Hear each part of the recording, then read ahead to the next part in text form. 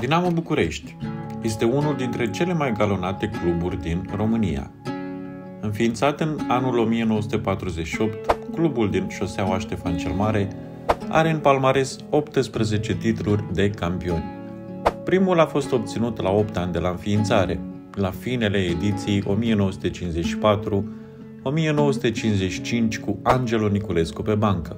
Ultimul a fost cucerit în sezonul 2006-2007, atunci când formația pentru care activau Niculescu, Dănciulescu, Andrei Cristea sau Cătălin Munteanu era pregătită de Mircea Rednic. Ca un amănunt interesant, sezonul 2006-2007 a fost și primul în care competiția internă și-a schimbat denumirea din Divizia A în Liga 1. De asemenea, albroșii au în vitrină și 13 cupe ale României, două supercupe, dar și o cupă a ligii. Pe lângă performanțele obținute pe plan intern, Dinamo a reprezentat cu cinste România și pe plan extern, în cupele europene. În sezonul 1983-1984,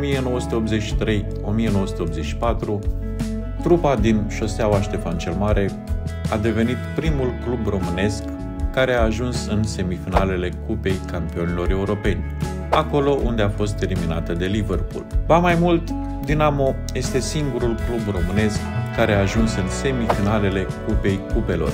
S-a întâmplat în sezonul 1989. De evidențiat ar mai fi faptul că Dinamo a fost și primul club din România participant în Cupa Campionilor Europeni. S-a întâmplat în 1956, la doar un an de la înființarea competiției. Atunci, câinii au învins în meciul de debut pe data de 26 august 1956, în fața 32.000 de spectatori, formația Galatasaray cu scorul de 3-1. La o așa istorie nu puteau lipsi jucătorii de legendă care au îmbrăcat tricoul alb-roșu.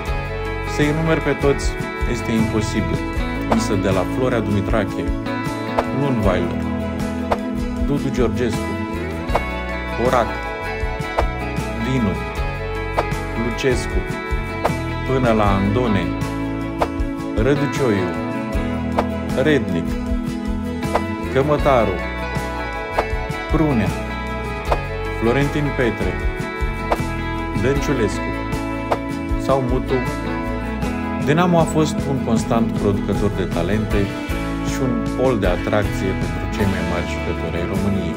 Ultimii ani nu au mai fost atât de rodnici pentru clubul din Ștefan cel Mare.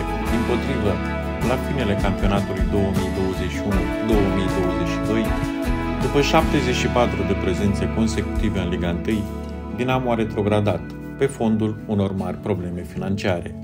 Revenirea în primul eșalon s-a produs imediat, după doar o stagiune petrecută în Liga a doua. Însă, situația financiară a clubului se menține destul de precară. Lângă echipă au venit totuși o serie de investitori potenți, pregătiți, cel puțin la nivel declarativ, să o readucă pe Dinamo acolo unde este locul, adică în topul fotbalului intern.